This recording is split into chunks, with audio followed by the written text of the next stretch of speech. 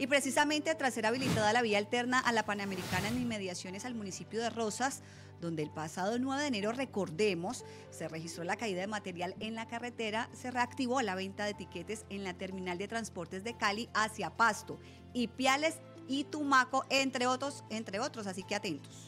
Mire, los trabajadores, eh, por ese, los trabajadores, perdón, eh, los, trabajos realizados por el eh, contratista de Invías permitieron adecuar dos kilómetros de un paso provisional que incluyen un puente de 30 metros de conectividad entre Cauca y Nariño. Según las directivas de las empresas de transportes, en las últimas 12 horas se incrementó la comercialización de los pasajes hasta en un 45%.